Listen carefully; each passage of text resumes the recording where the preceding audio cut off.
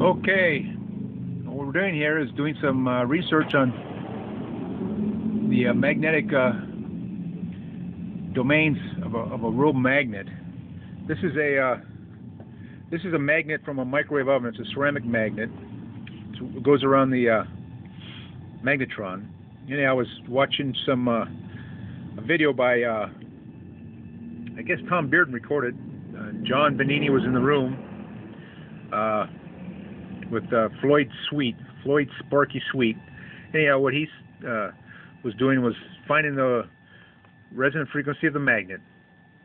And uh, we'll get a link to the uh, video so you can see it for yourself. But we were doing some tests and trying to figure out uh, if we could find the resonance here by the normal way we test for a coil resonance. We actually have a resistor here. Yeah, see if you can see that. Resistor, it's a 1K resistor get the probe here. It's not grounded. This in this case, this probe is not grounded, just the uh, high lead, and then uh, goes to the uh, the magnet, the coil, and we have a function generator. This is actually a BK. We uh, were running a sine wave originally. Uh, that's what he was doing. He was also talking about capacitor discharge, so he might have been pulsing it. Uh, we'll get into that in, in a while. But anyhow, what we wanted to do was see if we could find resonance here. But I found a funny phenomenon. It looks like the uh, MRI. What I'm going to do, I'm going to put my hand over this thing like this, and as I get closer, you're going to see, and we get some spikes up here. Spikes, and if I put it hard enough, it actually raises that whole scope up. And this is just by moving my hand up and down. I'll show you what I'm doing. This is all I'm doing.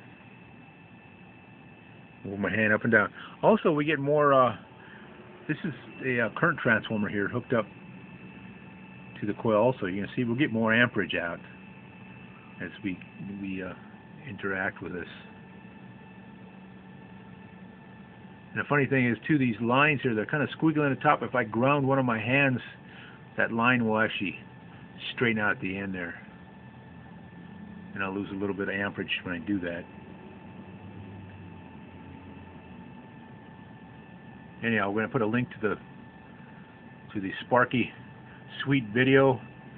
And what he was doing was uh, he had a say a flat magnet, and then what he would do, in fact, John Bedini was helping him.